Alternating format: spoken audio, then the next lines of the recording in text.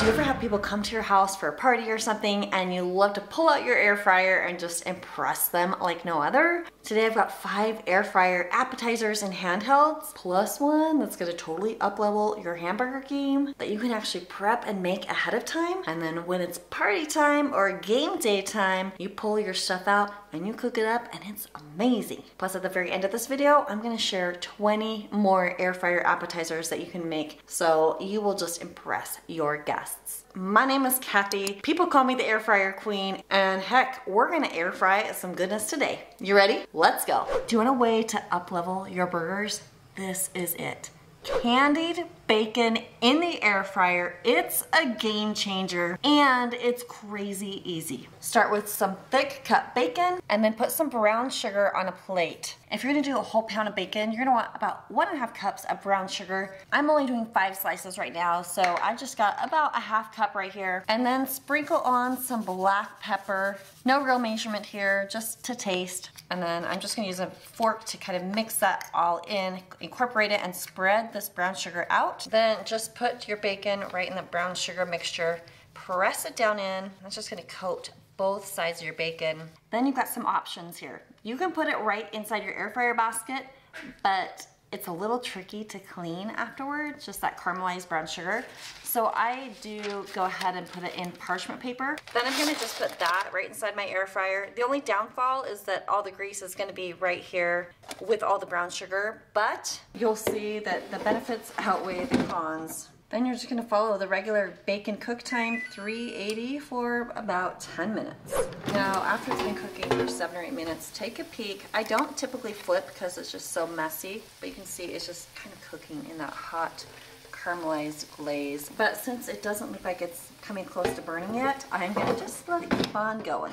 And then when it's done, check it out, you just see it's just gonna sit here, rest and caramelize if you need the air fryer, you can just carefully lift it out of the air fryer with that awesome parchment paper and set it on a plate to cool down. By the way, if you want to snag my parchment paper, you can get it at pineandpepper.co. Oh my goodness, just look at that. Mm. I could accidentally eat this all day. This is really bad for you. it's so good. Parchment paper for the win. Air fryer basket, still looking clean, yes. This next recipe is on page 60 of my cookbook. It's cheeseburger egg rolls, and it only takes six ingredients for the egg roll, and then six ingredients for the dipping sauce. I consider this one my copycat version of Cheesecake Factory cheeseburger egg rolls. So enjoy this one. You'll need some ground beef, American cheese, egg roll wrappers, onion, Worcester sauce, and pickle relish. First, cook up your ground beef on your stove top, and then while that's cooking, go ahead and dice up a quarter of an onion. You just need some minced onion, about a quarter cup. Then when your meat is almost done, I love to use the little trick that my friend Julia Pacheco taught me. You wrap paper towel around your spatula and just soak up all of that grease. It makes it so nice and easy. Then throw in that diced onion and a quarter cup of your pickle relish, and then one tablespoon of your Worcester sauce. Then go ahead and just mix that all up together. And now it becomes a cheeseburger when we add on six slices of American cheese. Let that melt for a little bit, and then just start mushing it all around to get it nice and incorporated. Now go ahead and scoop about a third cup of that mixture right into the center of your wrapper and spread it out to form like a small little rectangle now pick up the right side and fold that in and then fold in the left side and then get the little bottom point, bring it all the way over the top and then you just roll it right up and boom, there you go. I like to set these in parchment paper and then I'm going to just lightly mist them with oil. That's going to give it a nice brown, crispy finish. Then just drop your parchment paper right in the air fryer. Got to do a little bit of an adjustment. Pop it in the air fryer and we're going to air fry these at 380 Fahrenheit for just five to eight minutes. You will want to flip these halfway through, so be sure to hit that shake reminder button if you have it. And then when you're about halfway through cooking, give these a little flip, give it one more spray. And while that finishes up cooking, let's make the sauce. You need half cup of mayonnaise, 2 tablespoons of ketchup, 2 tablespoons of pickle relish, 1 to 2 splashes of red wine vinegar, and a pinch of garlic powder and onion powder. Then you just stir that up and it's really the most amazing sauce. And here we go. Minutes later, these are nice and browned and crispy, and you're going to love them. Ooh la la. Mmm. Is that a happy dance? That's a happy dance. I love this from Cheesecake Factory, and this tastes exactly the same in my opinion. And I haven't had this, so. You haven't had it at Cheesecake Factory, mm -hmm. you're saying? Mm -hmm. But it tastes good from the Yoder home. Okay, we're gonna make some jalapeno popper inspired pinwheel toasted sandwiches. And this is an easy one that you can make ahead and then air fry when you're ready to party. For this one, you'll want some burrito sized tortillas, about five of them, 12 ounces of softened cream cheese. I've got a trick I'm gonna show you. Two jalapenos. Don't worry, we're gonna take the seeds out so they will not be spicy. Then we got one and a half cups of cheese. We got a blend of sharp cheddar and some Monterey Jack cheese salt, pepper, garlic powder, and of course bacon. We have a hybrid mix of bacon. We got some regular bacon and some candied bacon. If you've got cream cheese that needs to be softened, and even butter for that matter, this is my little trick. You just preheat your air fryer. You don't need to do it like at a super high temperature. So I'm gonna bring it fairly low, like 300 Fahrenheit for three minutes, preheat it, and then when it's warm, just set your cream cheese right inside. Close back up and just let it sit there. And it'll get nice and soft super fast. While your cream cheese is softening, go ahead and prepare your jalapeno peppers. So you just cut them in half lengthwise, de-seed them, and dice them up. You need about a third cup. And chop up about eight slices of already cooked bacon. And here we go, not too much later we got some nice soft cream cheese. We're gonna get our trusty beaters out here and just whip this up. It's gonna make it a lot easier. Now go ahead and dump in all of your goodies. Oh, all of that bacon. Make sure you watch our candied bacon video. If you wanna add a little sweet to your savory, we're just gonna do salt and pepper to taste. So we just eyeball things around here. And lastly, a teaspoon of garlic powder and then just stir. Since we beat that cream cheese up, it's not that hard to mix all of this together now. Remember that you could always cut this recipe in half if you don't want to make a whole lot of pinwheels. But since you can make this ahead of time and just air in batches, that just means everybody's gonna have a nice hot and fresh cream cheese, jalapeno popper, whatever pinwheel sandwiches and it's gonna be good. Now get about a third cup of the mixture and you're just gonna spread it right over your burrito sized tortilla in a nice even thin layer and now you're just gonna roll it nice and tight. I'm just gonna use my little serrated paring knife here. I'm gonna cut off the little end piece. You can cut about five pinwheels from each tortilla. At this point, you could put them on a plate and cover them and keep them fresh until you're ready to enjoy. Or you can just place them right in the air fryer. Give it just a little mist of oil. Then pop it in the air fryer. We're gonna do 380 for five minutes. And now, ah, looks so great, right? If you want, you can carefully flip these over. Just toast up that other side. Then you just pop it back in and this time you crank it up to 400, but only air fry for like two more minutes. And now you get to devour. Oh yeah, let's go.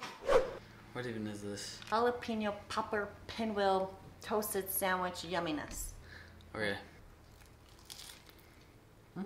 Mm. Wow. That was good. Mm -hmm. I was, uh, the smell of it, I was like, ugh, but that's actually really good.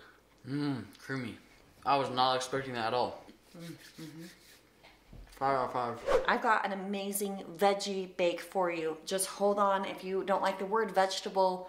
This is like absolutely amazing. So you've just got to check it out. Prep all your veggies ahead of time. Then you can assemble it and bake it up on your party day. Now you could do any type of veggies that you want. Today I'm using eggplant, a pepper, zucchini, broccoli, and a red onion. All you need to do is pick out what you want to make and then cut it up into bite-sized pieces. Then spray your air fryer basket with some avocado oil and load it up with all of your cut up veggies. Then spray the veggies again to coat and stir them around. It's just very important that everything is evenly coated with your avocado oil. Another option would be to put all of your veggies in a bowl and then pour on some oil and stir it up. But I didn't want to get another dish dirty, so I'm just doing it right in the air fryer basket. Now you're gonna put this in the air fryer at 380 for 10 minutes. And while that's cooking, I've got a super yummy cheese topping for you to make. In a new bowl, get a half cup of grated Parmesan cheese, a quarter cup of breadcrumbs, and then your choice of seasonings. You could do Italian seasoning or something called herb herbes de Provence. I think I'm saying it right. And you're just gonna add in whatever you want. It's kind of one of those to taste type things. You can see I'm being pretty generous with the amount I'm adding. It might have been like a tablespoon. Then stir that up and set it aside. And you got one more dish to pull out to make an amazing sauce. You just need one cup of canned tomatoes with chunks or crushed tomatoes, something that has some good texture to it. And then throw in a little salt and pepper to taste and either some fresh basil or ground basil to taste. Now the veggies are almost cooked, but we're gonna finish them off by sprinkling that dry cheese and breadcrumb mixture right over the top. And then take that tomato sauce mixture and spoon that right over the top. And then lastly, sprinkle on some mozzarella cheese to taste. And then you're gonna throw it back in the air fryer at 380 for about two to three minutes. And check out this beautiful veggie bake. Oh my goodness. What is this, Mom? It's vegetable amazingness. It's essentially a veggie crustless pizza. Okay. Veggie bake. Ready?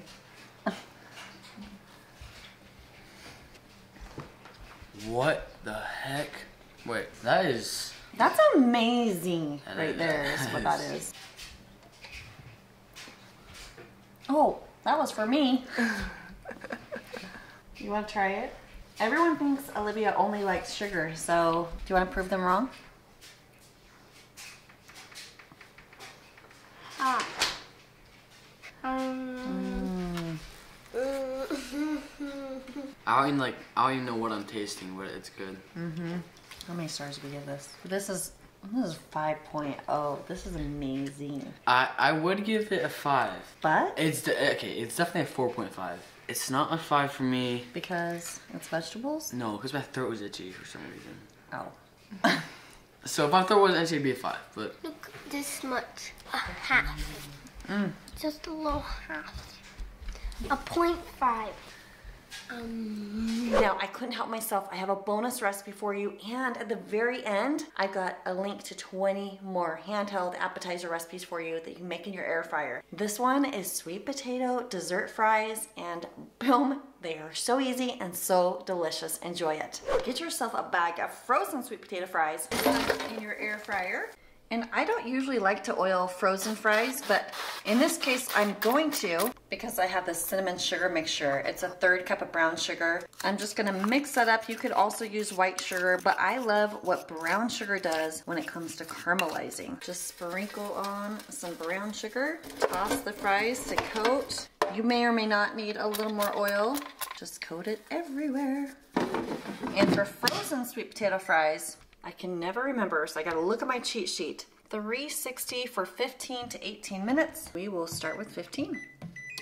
And while that's cooking, get a cup of powdered sugar, two to three tablespoons of heavy cream or milk if you want it less creamy, and a quarter teaspoon of pure vanilla. You're gonna make some delicious icing. And to make it uber beautiful, here's a little trick. Just grab a sandwich bag, throw it in a little cup, scoop your icing right into the bag, close it up, and right here, we're gonna snip it. And let's take a peek at it. Oh, it's looking great. But you know what I should have done? I don't know why I didn't think about it, but I'm about to have a big old mess with that brown sugar. I should have used my parchment paper liners. Dang it. For now, I'm just gonna shake it and let it finish cooking. And this is done.